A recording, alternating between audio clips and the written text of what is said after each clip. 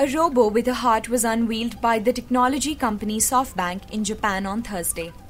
The robo is designed to not only recognize human emotions but react with simulations of anger, joy, and irritation.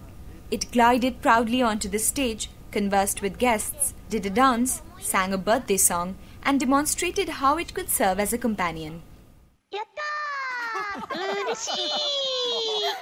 It appeared to respond with joy when it was praised or stroked.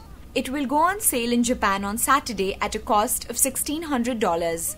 Details of when and where it will go on sale outside Japan was still undecided. SoftBank will partner with Alibaba Group of China and Foxconn of Taiwan for the global sales launch.